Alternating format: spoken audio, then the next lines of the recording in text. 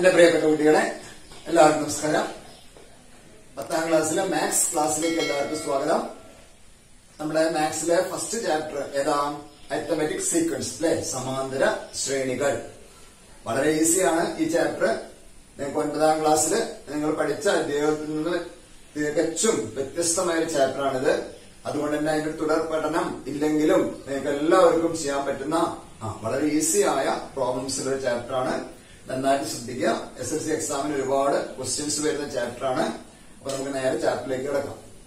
Okay ഇതിലിപ്പോ ആദ്യം നമ്മൾ അരിത്മെറ്റിക് സീക്വൻസിന്റെ മുമ്പ് നമ്മൾ പഠിക്കാൻ പോകുന്നത് നമ്പർ പാറ്റേൺ എന്താണ് നമ്പർ പാറ്റേൺസ് നമ്മൾ കുറച്ച് എക്സാമ്പിളിലൂടെ അത് ക്ലിയർ ചെയ്യാം. ഓക്കെ ഇപ്പൊ ഒരു സമചതുരം ഒരു സ്ക്വയറിന്റെ ആ എല്ലാ സൈഡ്സും ഈക്വൽ ആണ് നമുക്കറിയാം. ഇപ്പൊ നമ്പർ ഓഫ് സൈഡ്സ് എത്രയാണ്? ഫോർ ആണ്. ഒരു സൈഡ് വൺ സെന്റിമീറ്റർ ആണെങ്കിൽ എല്ലാ സൈഡും വൺ സി എം ആയിരിക്കും അല്ലെ? അപ്പൊ ഇതൊക്കെ വൺ സെന്റിമീറ്റർ സൈഡിലുള്ള ഒരു സ്ക്വയർ ആണ് സമചതുരാണ് അടുത്ത എല്ലാ സൈഡും two C M two C M two C M വേറെ സമയം square next three C M next four C M what is next five C M അതിന് നമ്മൾക്ക് ഇങ്ങനെ എഴുതിക്കൂടെ? One two three four five et cetera clear ആയല്ലോ? Sides ഉപയോഗിച്ച് വശങ്ങൾ ഉപയോഗിച്ച് ഞാൻ എഴുതിയതാണിത്. ഇനി വശങ്ങൾക്ക് പകരം സമയത്തിന്റെ പെരിമീറ്റർ ചുറ്റളവ്. ചുറ്റളവ് എങ്ങനെ കാണാം? എല്ലാ സൈഡും ഈക്വൽ ആയതുകൊണ്ട് ചുറ്റുമുള്ള അളവോട് ഒക്കെ പ്ലസ് ചെയ്താണ് ചുറ്റളവ് അല്ലെ അതായത് വൺ വൺ വൺ വൺ എത്ര കിട്ടും? ഫോർ എന്ന് കിട്ടും. ഇവിടെ ടു ടു ടു ടു എത്ര കിട്ടും? എയ്റ്റ് എന്ന് കിട്ടും. വേറെ രീതിയിൽ എങ്ങനെ പറയാം? ആ ഫോർ ഇന്റു വൺ സൈഡ് ഇപ്പൊ നാല് ഇന്റു ഒന്ന് നാല്. ഇവിടെ നാല് ഇന്റു രണ്ട് എട്ട്. ഇവിടെ നാല് ഇന്റു മൂന്ന് പന്ത്രണ്ട്. ഇവിടെ നാല് ഇന്റു നാല് പതിനാറ്. അപ്പൊ നമുക്ക് എങ്ങനെ എഴുതാം? One into four four two into four eight three into four twelve four into four sixteen five into four twenty et cetera അപ്പൊ ഞാൻ പെരിമീറ്റർ ചുറ്റളവ് വരുന്ന ഒരു ശ്രേണി എഴുതി. ലെസ് നെക്സ്റ്റ് നമുക്ക് ഏരിയ നോക്കാം. ഏരിയ എന്ന് പറഞ്ഞാൽ എന്താ? Length into breadth or A into A അല്ലെങ്കിൽ എ സ്ക്വയർ അല്ലെങ്കിൽ വശം ഇന്റു വശം. അല്ലെ? രണ്ട് സൈഡ് ഈക്വൽ ആണ് അല്ലെ? അപ്പൊ ഇവിടെ വൺ ഇവിടെ one what is one into one one centimetre square ആദ്യത്തെ കിട്ടും. രണ്ടാമത്തെ two into two four centimetre square കിട്ടും. അടുത്ത three into three nine centimetre square കിട്ടും. Next four into four sixteen centimetre square അതായത് പരപ്പളവ്. നമുക്ക് എങ്ങനെ എഴുതാം? ഒന്ന് ആ നാല് ഒൻപത് പതിനാറ്. അടുത്ത എത്രയാണ് അവിടെ വരച്ചിട്ടില്ല. അഞ്ച് ഇന്റു അഞ്ച് ഇരുപത്തിയഞ്ച് എക്സെട്ര അങ്ങനെ എഴുതാം. അപ്പോ സൈഡ്സിന്റെ എഴുതി പെരിമീറ്റർ ചുറ്റളവിന്റെ എഴുതി പരപ്പളവ് ഏരിയ എഴുതി.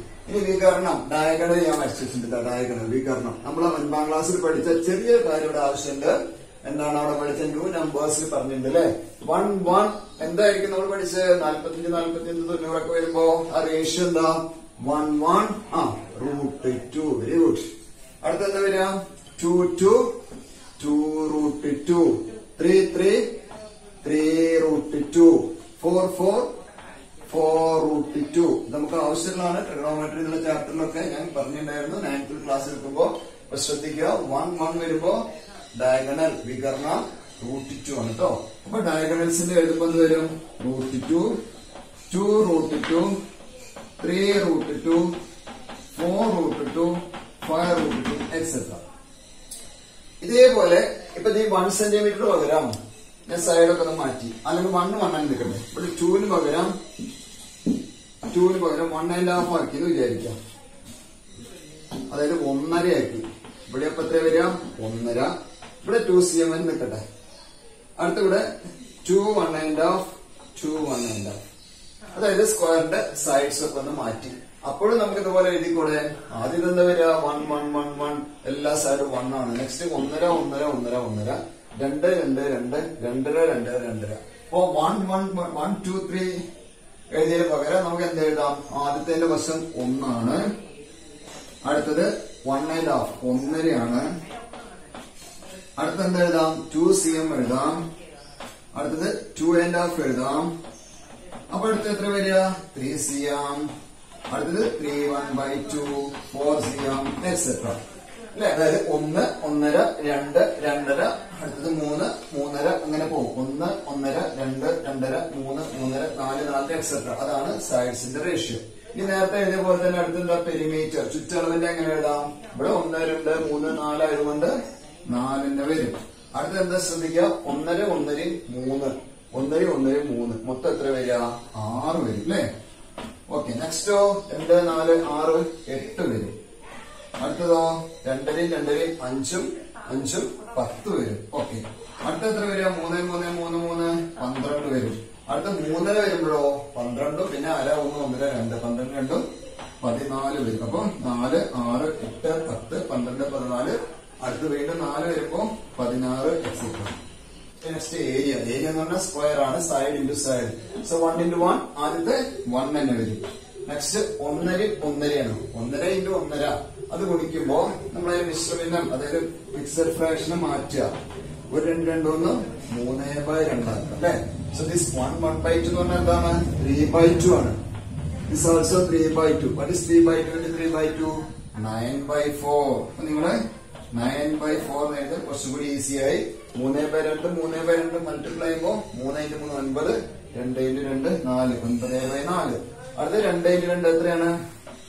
നാലാണ്. ഇവിടെ നോക്കൂ two one by two two one by two multiply ചെയ്യുമ്പോൾ two one by two two into two four അതിന് മാറ്റ്. Two one by two മാറ്റുമ്പോ two into two four four four plus one five by two വരും. അപ്പൊ ഇത് five by two ഇവിടെ എന്ത് വരും?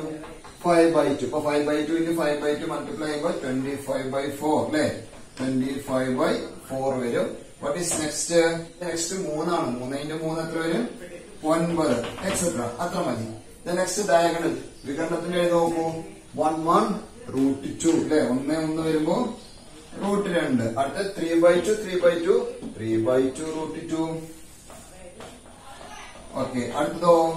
Two two two root two അടുത്തതോ?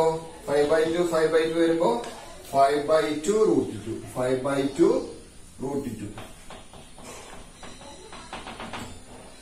അങ്ങനെ നമ്മളിപ്പോ നാല് നാലും എട്ടെണ്ണം എഴുതി അല്ലേ? One two three four five six seven eight ഇതൊക്കെ വീണ്ടും സൈഡ്സ് ചേഞ്ച് ചെയ്തിട്ട് വീണ്ടും എഴുതാം. അങ്ങനെ നമുക്ക് ഒരു പ്രത്യേക ക്രമം അനുസരിച്ച് ഒരു പ്രത്യേക റൂൾ അനുസരിച്ച് എഴുതുന്ന ഇത്തരത്തിലുള്ള സംഖ്യകളുടെ കൂട്ടങ്ങളെ. എന്ത് പറയാം? നമ്പർ പാറ്റേൺസ് അല്ലെങ്കിൽ സംഖ്യാക്രമങ്ങൾ. ഓക്കെ അപ്പൊ ശ്രദ്ധിക്കുക a set of numbers written like this as the first second third and so on a set of numbers written like this ഏതുപോലെ first second third and so on et cetera according to a particular rule is called a number sequence അപ്പൊ എന്താ മനസ്സിലായേ? ഒരു പ്രത്യേക നിയമം അനുസരിച്ച് എഴുതുന്ന ഒരു കൂട്ടം അല്ലെ?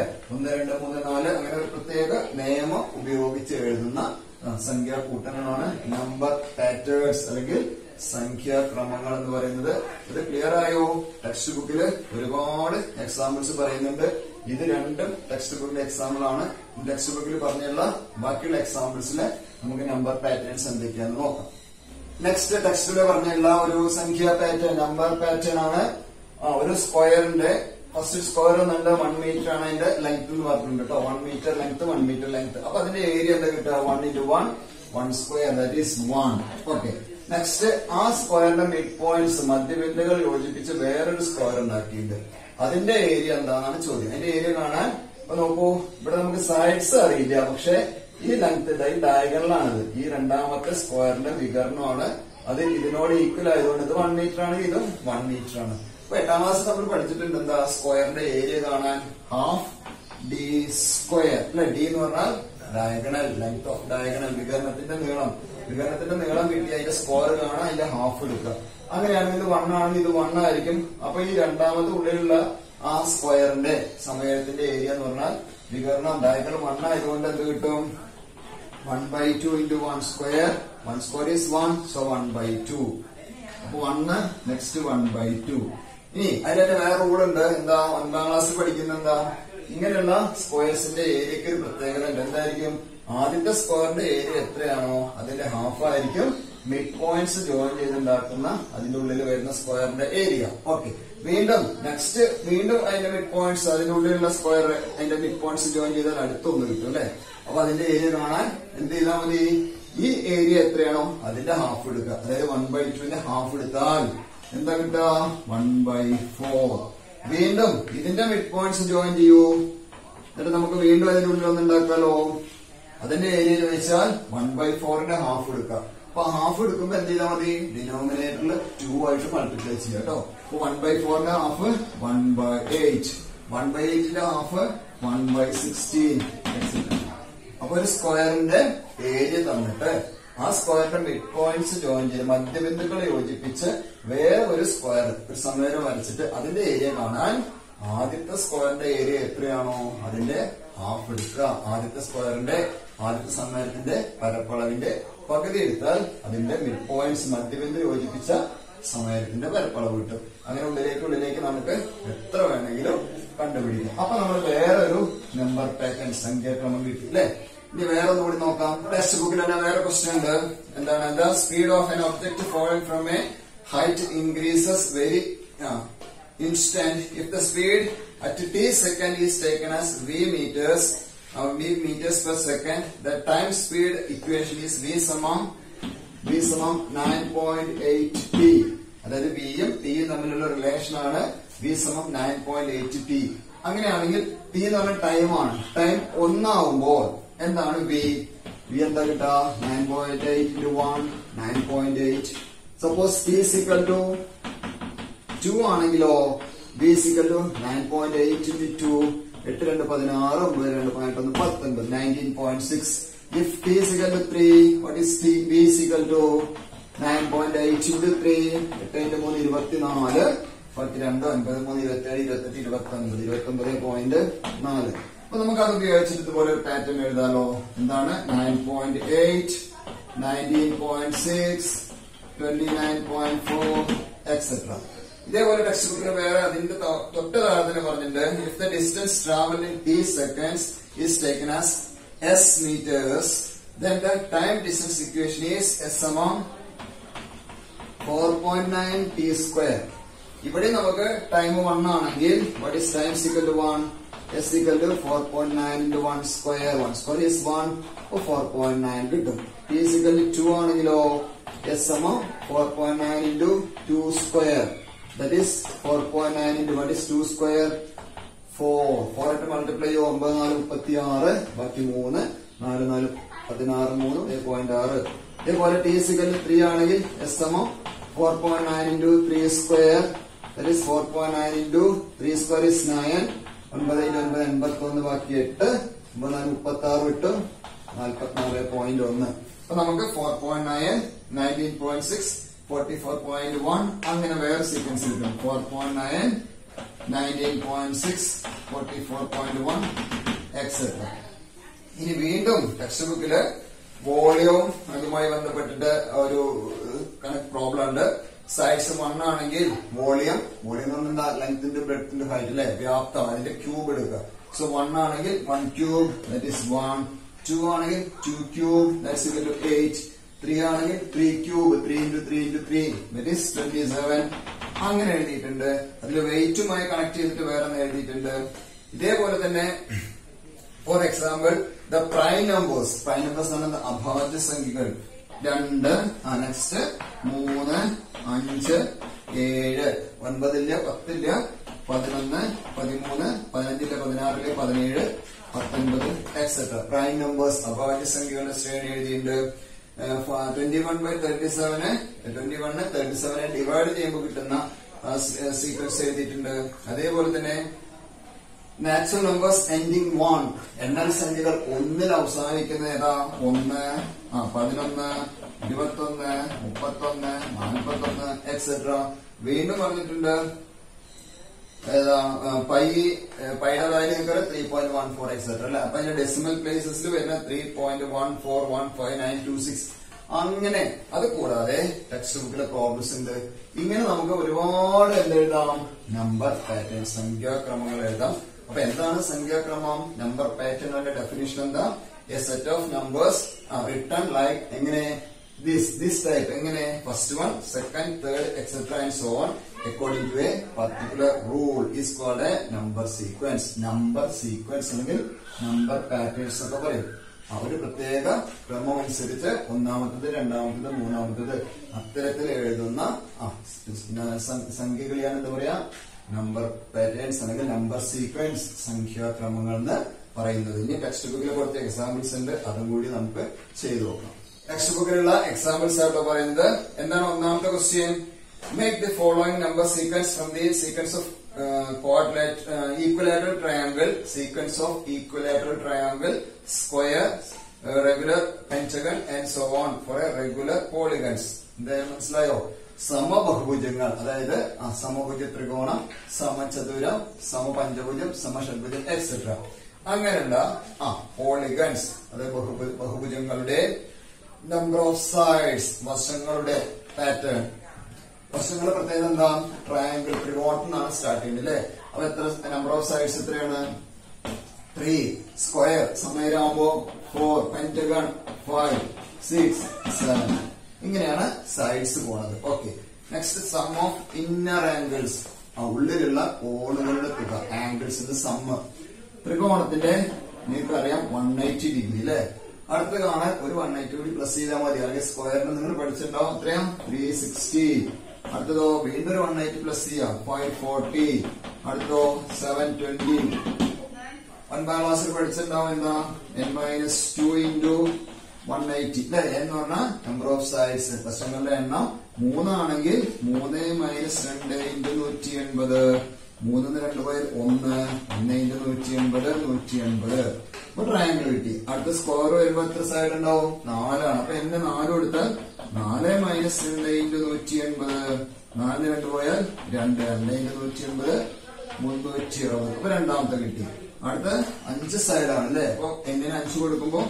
Five minus two into one ninety അഞ്ചിന്ന് രണ്ട് പോയാൽ മൂന്ന്. മൂന്ന് ഇന്റു നൂറ്റി എൺപത് അഞ്ഞൂറ്റി നാൽപ്പത് കിട്ടും.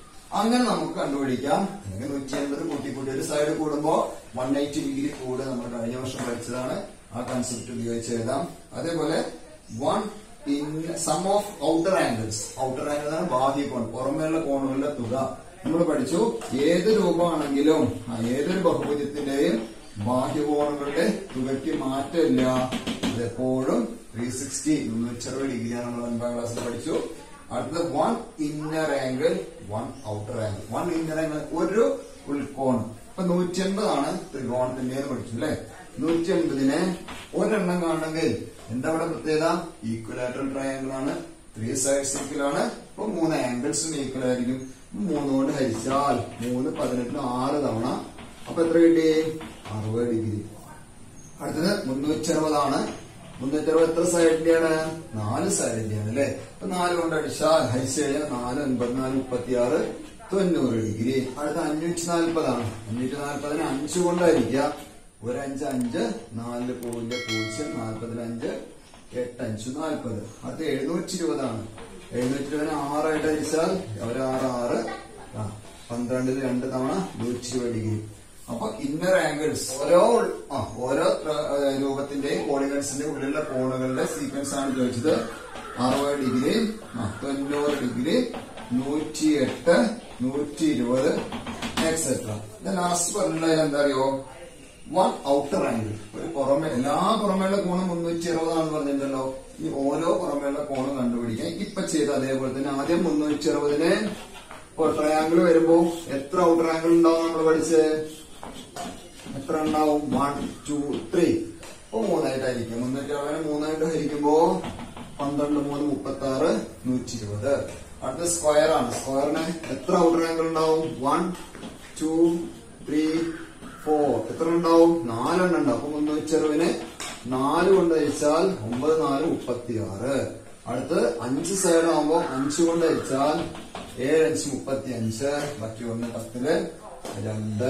മുപ്പത്തി ആറ് കൊണ്ട് ഹരിച്ചാൽ ആറ് ആറ് മുപ്പത്തി ആറ് അറുപത് ഡിഗ്രി. അപ്പൊ എന്താ കിട്ടി നമുക്ക് sequence one twenty ninety seventy two sixty etcetera ഇതാണ് ഒന്നാമത്തെ കണക്ക്. നിങ്ങളോട് നമ്പർ സീക്വൻസ് നമ്പർ പാറ്റേൺ അല്ലെങ്കിൽ നമ്പർ സീക്വൻസ് സംഖ്യാക്രമങ്ങൾ എഴുതാനാണ് പറഞ്ഞുള്ള ഒന്നാമത്തെ ക്വസ്റ്റ്യൻ നമ്പർ ഓഫ് സൈഡ്സ് അതായത് സൈഡ്സ് എന്ന് പറഞ്ഞ വശങ്ങളുടെ സീക്വൻസ് എഴുതി അതിന്റെ ഉള്ളിലുള്ള ഇന്നർ ആംഗിൾസ് ആന്തര കോണുകളുടെ സീക്വൻസ് എഴുതി ബാഹ്യ കോണുകൾ പുറമേയുള്ള കോണുകളുടെ സീക്വൻസ് എഴുതി ഒരു ആന്തര കോണിന്റെ സീക്വൻസ് എഴുതി ഓരോ ബാഹ്യ കോണിന്റെ സീക്വൻസ് എഴുതി. അങ്ങനെ നമുക്ക് എത്ര വേണമെങ്കിലും ഇതേപോലത്തെ സംഖ്യാക്രമങ്ങൾ ഉപയോഗിച്ച് എഴുതാൻ പറ്റും. സെക്കൻഡ് ക്വസ്റ്റ്യൻ നോക്കാം. ക്വസ്റ്റ്യൻ നമ്പർ ടു വളരെ ഈസിയാണ് മൂന്ന് ഡോട്ട് ഉപയോഗിച്ച് ഒരു ട്രയാങ്കിൾ ഉണ്ടാക്കിയിട്ട് വീണ്ടും ഒരു മൂന്ന് ഡോട്ടും കൂടി എക്സ്റ്റെൻഡ് ചെയ്തു. അടുത്ത ട്രയാങ്കിൾ വീണ്ടും മൂന്നെണ്ണം നാലെണ്ണം എക്സ്റ്റെൻഡ് ചെയ്തു അല്ലെ? അങ്ങനെ എഴുതി പോയാൽ എത്ര ഡോട്ടുകളാണെന്നുള്ളതാണ് ആദ്യം എഴുതേണ്ടത്. അപ്പൊ ആദ്യം മൂന്ന് ഡോട്ടാണ് ഉപയോഗിച്ചിട്ടുള്ളത്. അടുത്തത് മൂന്നിന്റെ കൂടെ മൂന്നെണ്ണം കൂടി വന്നു. ആറെണ്ണായി. അടുത്ത മൂന്നും മൂന്ന് ആറും ഒരു നാലെണ്ണം കൂടി. അപ്പൊ എത്രയായി? പത്തായി. അപ്പൊ ആദ്യത്തേൽ മൂന്നെണ്ണം കൂടി അടുത്തേൽ നാലെണ്ണം കൂടി നെക്സ്റ്റ് അഞ്ചെണ്ണം കൂടും. അപ്പൊ പത്തിന്റെ കൂടെ അഞ്ച് കൂടിയാൽ പതിനഞ്ചായി. അടുത്ത ആറെണ്ണം കൂടും ഇരുപത്തിയൊന്ന്. അടുത്ത ഏഴെണ്ണം കൂടും ഇരുപത്തിയേഴും ഇരുപത്തെട്ട് അതായത് ആദ്യം മൂന്ന് ഡോട്ടായിരുന്നു പിന്നെ ഒന്ന് രണ്ട് മൂന്നിന്റെ കൂടെ മൂന്നെണ്ണം കൂടി. അടുത്തത് എത്ര കൂടി? നാലെണ്ണം. ഒന്ന് രണ്ട് മൂന്ന് ഒന്ന് രണ്ട് മൂന്നായിരുന്നു ഒന്ന് രണ്ട് മൂന്ന് നാലെണ്ണം കൂടി. അപ്പൊ ആദ്യത്തെ മൂന്ന് എഴുതി. പിന്നെ ഒന്ന് രണ്ട് മൂന്ന് നാല് അഞ്ച് ആറെണ്ണം എഴുതി. അപ്പൊ ആദ്യത്തേന്ന് മൂന്ന് ഡോട്ടാണ് കൂടിയത്. പിന്നെ എത്ര കൂടി? നാലെണ്ണം കൂടി. അല്ലെ അപ്പൊ ആറിന്റെ കൂടെ നാല് കൂട്ടിയപ്പോ പത്തായി. നെക്സ്റ്റ് എത്ര ഡോട്ട് കൂടും? അഞ്ചെണ്ണം കൂടും. അപ്പൊ പതിനഞ്ചായി. നെക്സ്റ്റ് ആറെണ്ണം കൂടും. പതിനഞ്ചാറും ഇരുപത്തൊന്നായി ഏഴെണ്ണം കൂടും. ഇരുപത്തെട്ടായി എക്സെട്ര അപ്പൊ computer the number of dots need to make the next three triangles മൂന്നെണ്ണത്തിന് വേണമെന്ന് പറയുന്നത് അപ്പൊ മൂന്നെണ്ണം ഇവിടെ തന്നിട്ടായിരുന്നു മൂന്നെണ്ണം നമ്മൾ എഴുതി. Okay next question number three എന്താ പറഞ്ഞിങ്ങനെ write down the sequence of natural numbers leaving remainder 1 division division by 3. മൂന്ന് കൊണ്ട് ഡിവൈഡ് ചെയ്യുമ്പോൾ ഹരിക്കുമ്പോൾ റിമൈൻഡർ ഒന്ന് കിട്ടണം. അപ്പൊ മൂന്ന് കൊണ്ട് ഹരിക്കുമ്പോൾ റിമൈൻഡർ ശിഷ്ടം ഒന്ന് വരുന്ന സംഖ്യ കണ്ടുപിടിക്കാൻ നിങ്ങൾ എന്ത് ചെയ്യാം ഒന്നിനെ മൂന്നായിട്ട് ഹരിച്ചു നോക്കൂ. ഒന്നിന് മൂന്ന് പോവോ? ആ പോവില്ല. അല്ലെ? മൂന്നിന് പൂജ്യം പൂജ്യം. അപ്പൊ ശിഷ്ടം ഒന്ന്. പിന്നെ രണ്ടിന് മൂന്നായിട്ട് ഹരിച്ചാലോ മൂന്ന് പൂജ്യം പൂജ്യം. അപ്പൊ ശിഷ്ടം രണ്ടായി. മൂന്നിനെ മൂന്നായിട്ട് അടിച്ചാലോ ഒരു മൂന്ന് മൂന്ന് ശിഷ്ടം നാലിന് മൂന്നായി അടിച്ചാലോ ശിഷ്ടം ഒന്നായി. അപ്പൊ നിങ്ങൾക്ക് ഇങ്ങനെ അരിച്ചു നോക്കാണ്ട് തന്നെ സ്വന്തമായി നിങ്ങൾക്ക് എഴുതാൻ അറിയണം. അപ്പൊ ആദ്യത്തെ ഒന്ന് ഈ ഒന്ന് പലപ്പോഴും കുട്ടികൾ എഴുതില്ല. ഉടനെ എവിടുന്ന് തുടങ്ങാം? നാലിനാ തുടങ്ങുക. അല്ലെ? നാലിന് മൂന്നായിട്ട് ആയിരിക്കുമ്പോ സിസ്റ്റർ റിമൈൻഡർ ഒന്ന്. അപ്പൊ നാല് തുടങ്ങും. ശ്രദ്ധിക്കുക കുട്ടികളെ. ഒന്ന് എപ്പോഴും എഴുതണം. കാരണം മൂന്നിൽ ഒന്ന് ആ ഒന്നിന് മൂന്നായിട്ട് അടിക്കുമ്പോ പോവോ മൂന്നിൽ പോവില്ല. പോവും എത്ര പ്രാവശ്യം പോവും? സീറോ ടൈംസ് പോവും മൂന്നായിട്ട് പൂജ്യം പൂജ്യം ബാക്കി ഒന്ന്. ആ രീതിയിൽ ശ്രദ്ധിച്ചെഴുതണം കേട്ടോ. അപ്പോ മൂന്ന് കൊണ്ട് ഡിവൈഡ് ചെയ്യുമ്പോ റിമൈൻഡർ ഒന്ന് കിട്ടുന്ന ആദ്യ സംഖ്യ ഏതാണ്? ഒന്ന്. നെക്സ്റ്റ് ഏതാണ്? നാല്. ഇനി ഏതായിരിക്കും? എന്ന് ആലോചിച്ചു അഞ്ചിനെ മൂന്ന് കൊണ്ട് അയച്ചു നോക്കൂ. മൂന്ന് രണ്ട് മൂന്ന് ആറായില്ല ഒരു മൂന്ന് മൂന്ന്. അപ്പൊ സിസ്റ്റം രണ്ട് വരും. ആറിന് മൂന്ന് അടിച്ചാലോ സിസ്റ്റം പൂജ്യമാണ്. ഏഴ് വരും അല്ലേ ഏഴിന് മൂന്ന് അടിച്ചാൽ മൂന്ന് രണ്ട് ആറ്. അപ്പൊ നിങ്ങൾ എത്ര ആലോചിച്ചാൽ മൂന്നിന്റെ മൾട്ടിപ്പിൾ ഒക്കെ അതിനിപ്പോ ഒന്ന് കൂട്ടിയാൽ മതി. ഒരു മൂന്ന് മൂന്ന് അപ്പൊ നാല് എടുത്തു. രണ്ട് മൂന്ന് ആറ് ഏഴ് എടുത്തു. മൂന്ന് മൂന്ന് ഒൻപത് അപ്പൊ എത്ര എടുക്കണം? പത്ത്. നാല് ഇരുപത് പന്ത്രണ്ട് അപ്പൊ എത്ര എടുക്കാം പതിമൂന്ന്. അപ്പൊ മൂന്ന് കൊണ്ട് അടിപാട് ചെയ്യുമ്പോ റിമൈൻഡർ സിസ്റ്റം ഒന്ന് വരുന്ന നാച്ചുറൽ നമ്പേഴ്സ് എണ്ണൽ സംഖ്യയാണ് എഴുതാൻ പറഞ്ഞിരിക്കുന്നത് അതേപോലെ തന്നെ പറഞ്ഞില്ല എന്താ? റിമൈൻഡർ രണ്ട് വരുന്നത്. മൂന്ന് കൊണ്ട് ഹരിക്കുമ്പോ റിമൈൻഡർ സിസ്റ്റം രണ്ട് വരുന്ന ആദ്യത്തെ സംഖ്യ ഏതാണ്? ശ്രദ്ധിക്കുക രണ്ടാണ്. തെറ്റിക്കരുത്. ആഹാ. അടുത്തത് ഏതാ വരിക? ഞാൻ ഇവിടെ ചെയ്തിട്ടുണ്ട് ഒരു മൂന്ന് മൂന്ന്. അഞ്ചിൽ മൂന്ന് ഒരു മൂന്ന് മൂന്ന് ബാക്കി രണ്ട്. അപ്പൊ അടുത്തത് അഞ്ചാണെന്ന് നമ്മൾ എഴുതി വെച്ചു. അടുത്തത് ഏതാ വരിക? എട്ട്. വെരി എന്താ കാരണം? ഒരു മൂന്ന് മൂന്ന് രണ്ട് മൂന്ന് ആറ് ബാക്കി രണ്ട്. അടുത്തതോ? മൂന്ന് മൂന്ന് ഒമ്പത് പത്ത് പതിനൊന്ന്. രണ്ട് കുട്ടിയെ പോരെ? നാല് മൂന്ന് പന്ത്രണ്ട്. പതിമൂന്ന് പതിനാല്. അംശങ്ങൾ അയച്ചു നോക്കുക. പതിനാല് മൂന്ന് നാല് മൂന്ന് പന്ത്രണ്ട്. ബാക്കി രണ്ട്. അത്തരത്തിലുള്ള ചോദ്യമാണ് മൂന്നാമത്തെ ചോദ്യം. ഇനി അടുത്തത് ഇതേപോലെ തന്നെ write of sequence of natural numbers ending one or six ഒന്നിലോ ആറിലോ അവസാനിക്കുന്ന എണ്ണൽ സംഖ്യ? ഒന്നിലോ ആറിലോ അവസാനിക്കുന്നത് ഒന്നുണ്ട്.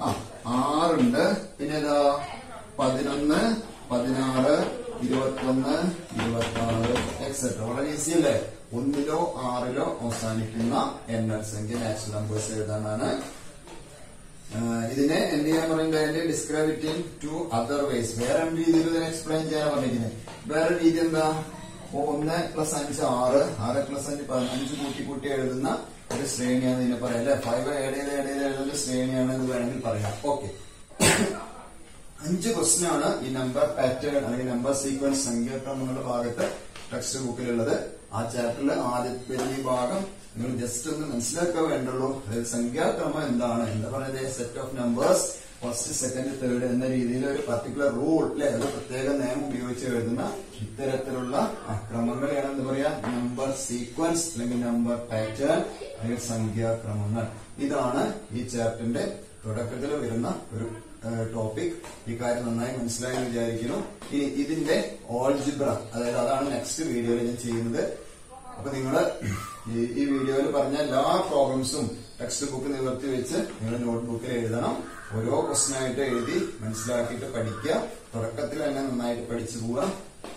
ഇത് ഈ ചാപ്റ്ററിലെ എല്ലാ എന്താ പറയുക പ്രോബ്ലംസും ഇതുപോലെ ഓരോരോ വീഡിയോ ആയിട്ട് ചെയ്തായിരിക്കും. അപ്പൊ നിങ്ങൾ ഈ ചാനൽ ഇതുവരെ സബ്സ്ക്രൈബ് ചെയ്തില്ലെങ്കിൽ നിങ്ങൾ സബ്സ്ക്രൈബ് ചെയ്യാം. കൂടാതെ ഒരു കാര്യം കൂടി ചെയ്യണം.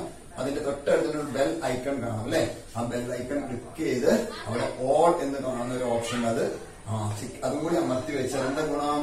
മനുഷ്യനെ എപ്പോഴൊക്കെയാണ് വീഡിയോസ് ചെയ്യാൻ നിങ്ങൾക്ക് അറിയോ ഇല്ല? അപ്പൊ ഞാൻ ചെയ്യുമ്പോൾ ചെയ്ത് കഴിഞ്ഞ് ഞാൻ അയച്ച സമയത്ത് തന്നെ നിങ്ങൾക്ക് അതിന്റെ നോട്ടിഫിക്കേഷൻ നിങ്ങളുടെ ഫോണിൽ വരും. അപ്പൊ നിങ്ങൾക്ക് ആ വീഡിയോ കാണാം. അല്ലാതെ ഞാൻ അയച്ചു തന്നിട്ടെങ്കിൽ നിങ്ങൾക്ക് കാണണമെന്നില്ല. നിങ്ങൾ എല്ലാവരും സബ്സ്ക്രൈബ് ചെയ്യാം. ആ എന്ത് ചെയ്യണം? ആ ബെൽ ഐക്കൺ ക്ലിക്ക് ചെയ്ത് ഇവിടെ ഓൾ എന്ന ഓപ്ഷനും കൂടി ടിക്ക് ചെയ്ത് വെക്കുക. ഈ വർഷം നല്ല രീതിയിൽ മാത്സ് പഠിച്ച് നല്ല മാർക്ക് വാങ്ങാൻ വേണ്ടി ശ്രമിക്കണം തുടക്കത്തിലേ ശ്രമിക്കണം. ഓക്കെ അപ്പൊ നെക്സ്റ്റ് ഒരു വീഡിയോ ആയി വരുന്നവരെല്ലാവർക്കും നന്ദി നമസ്കാരം.